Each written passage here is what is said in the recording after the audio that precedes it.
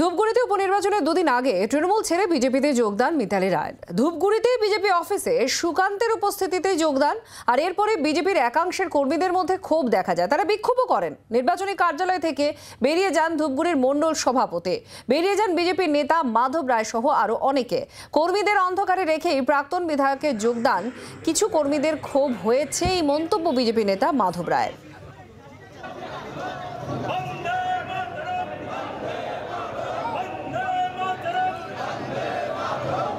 ঠিক এই বিক্ষোভ নিয়ে এই ক্ষোভ বিজেপির একাংশের মধ্যে যেটা তৈরি হয়েছে, তা নিয়ে বিজেপির তরফ থেকে কি বলা হচ্ছে? শ্রমিক ভট্টাচার্যের প্রতিক্রিয়া আমাদের কাছে আছে।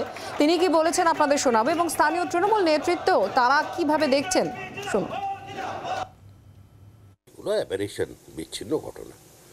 ওরকম গণতান্ত্রিক দলে হয়। কারণ এখন তো একটা যাওয়া আসার খেলা চলেছে সাম্প্রতিককালে পশ্চিমবঙ্গের রাজনীতিতে। দেখছেন না মোহাম্মদ সেলিম? কল্পনা করা যায়? মঞ্চের ওপরে তিনি প্রার্থীকে শপথ পাঠ করাচ্ছেন, যদি যেতেন তাহলে অন্য দলে জ্বলে যাবেন না মানে তৃণমূলে যাবেন না সেটার জন্য। তাহলে পরিস্থিতি এখন পশ্চিমবঙ্গের এরকম আছে রাজনৈতিক সংস্কৃতি। যাচ্ছেন, নতুন দলে যোগ দিচ্ছেন। আমরা তো কুমোরটুলি থেকে মানুষ তৈরি করে আনতে পারব না, এই সমাজের মধ্যে যারা রাজনৈতিক কর্মী আছেন, তাদেরই নিয়ে আসতে হবে। এসেছেন, নেওয়া হয়েছে।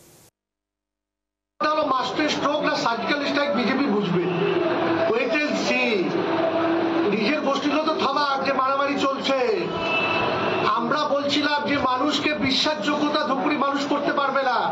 কারণ যে আগের দিন অভিষেক বন্দ্যোপাধ্যায়ের মঞ্চে তৃণমূল কংগ্রেসের জিতার আহ্বান করে, পরের দিন সকালে বিজেপিতে যায়, তার ব্যক্তিত্ব কি মানুষ জেনে গেছে? এই জন্য সার্জিক্যাল স্ট্রাইক না করে ভাবুক যে আমরা কত বড় কি করলাম।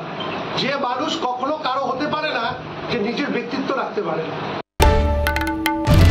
বাংলার আওয়াজ, বাঙালির আবেগ। জি, চব্বিশ ঘণ্টা।